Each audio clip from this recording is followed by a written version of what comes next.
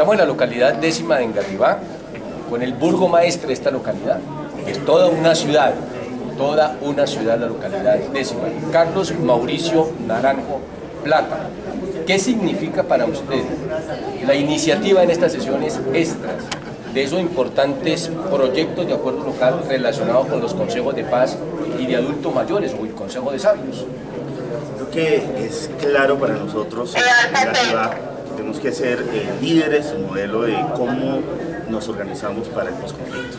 En Gativá lo que ha venido haciendo es precisamente demostrando con hechos que está organizando y que viene organizando para el posconflicto. El Consejo de, Paz obviamente nos da una base importante porque generamos una, propiciamos un escenario de discusión de, diferentes fuerzas eh, en general sociales de toda la localidad en torno a temas tan importantes como este. Ya el Consejo Local de Sabios y Sabias formas eh, digamos, reales mediante las cuales nosotros propiciamos escenarios de organización social y ciudadana de nuestra persona mayor, que creemos efectivamente el tema de la persona mayor es, es, de los temas más importantes en los cuales tenemos que, revisar. Yo he venido diciendo muchas veces y es que de cara a un tema de, un conflicto, la persona mayor debe declararse como víctima armado, como víctima del conflicto armado, tanto son muchos años, generaciones eh, mediante las cuales se ha venido sacrificando la inversión social por inversión, por inversión en guerra.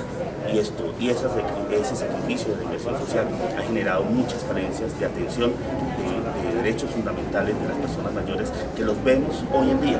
Las personas mayores, muchas personas mayores en total, de, eh, eh, en total estado de abandono, personas mayores que efectivamente están pasando hambre, pasando frío y que nosotros no podemos ser indolentes y creemos que en Engativá estamos, tenemos las condiciones para liderar y mostrar cómo podemos darle una posición de dignidad a la persona mayor nuestra. ¿Qué le podemos decir a los televidentes de multiservicios, de Telemorisco, de Canal TV Bogotá, de Bogotá Social Televisión, luego a los representantes de los medios de adultos mayores y al informativo ciudadano sobre las víctimas y desplazados que hay en esta localidad, porque siempre se habla de Ciudad Bolívar, de Puerto de Moza o se habla de Suacha, pero no se habla de esta localidad en términos del desplazamiento de las víctimas, de esas consecuencias tan honestas que deja la guerra con el Claro, sabemos que, que en esta dinámica de guerra años, de alguna manera las ciudades y Bogotá por supuesto termina siendo casi que una, eh, un ejemplo a mostrar, no necesariamente positivo por supuesto, de cómo se empieza a poblar hacia la periferia de la ciudad. Es decir, a veces resulta más fácil para esas ciudades hacia la periferia llevar a la gente, y sobre todo a los más humildes, a las personas que consideran más, eh, más vulnerables hacia esa periferia. Y Engativá termina siendo el resultado de procesos de urbanización de periferia. Eh, la vivienda, eh, vivienda de interés social que se empieza a crear, empieza a generar, donde básicamente a través de la vivienda de interés social empiezan a organizarse todas estas dinámicas de, de urbanización, termina dándose de manera muy fuerte en esta localidad, obviamente en, estas, en esta zona del occidente y sobre todo en el occidente de la ciudad. La actividad es un fruto, es fruto de esa dinámica.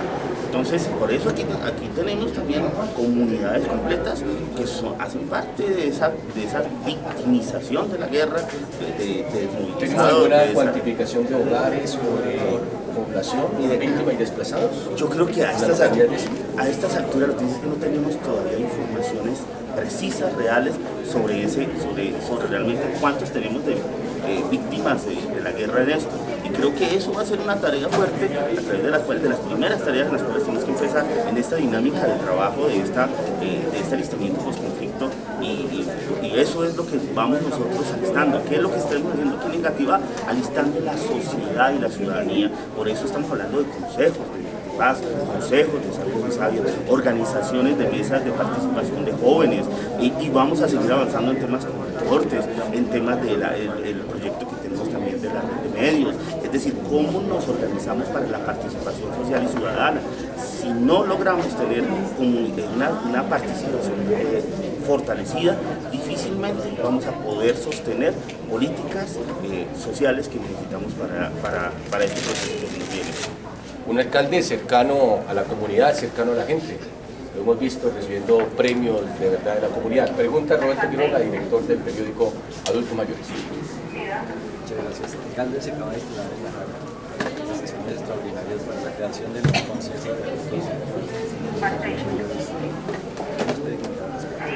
Claro, hoy eh, ya empieza el debate del Consejo Local miras a la creación del Consejo Local de Sabios y Sabias.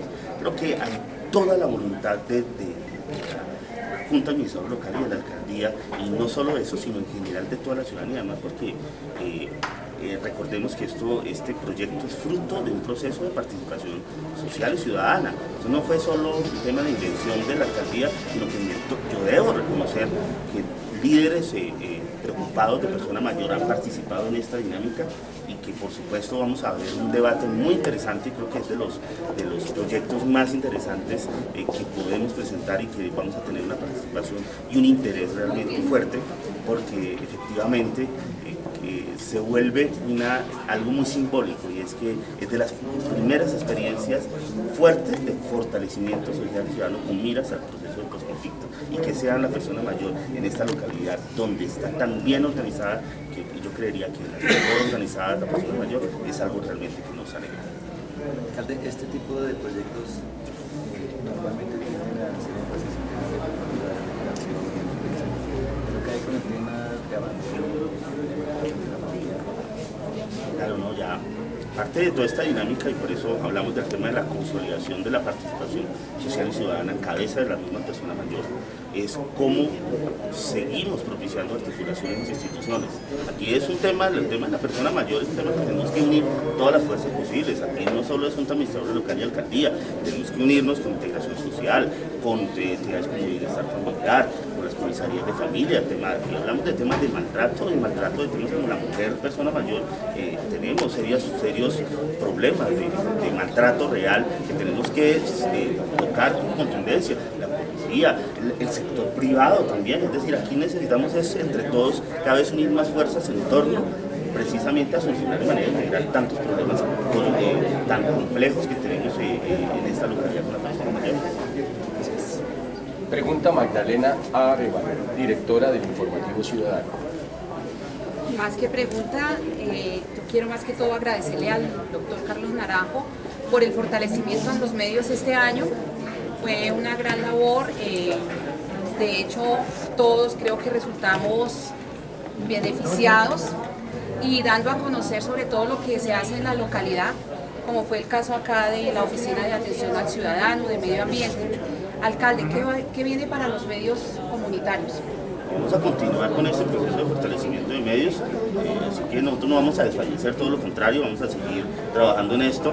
Eh, creemos firmemente que el, papel de los medios, de los, medios alternativos, los medios alternativos pueden contar una verdad que a muchos no les interesa contar. Y, es, y creo que es parte de la esencia de lo que vamos a seguir trabajando. Doctor Carlos Mauricio Naranjo Plata, el alcalde local de la localidad décima de Engativá, su último mensaje para todos los televidentes de Telemorisco, de Multivisión, de Canal TV Bogotá, de Bogotá Social Televisión y a los medios alternativos de la localidad de Engativá.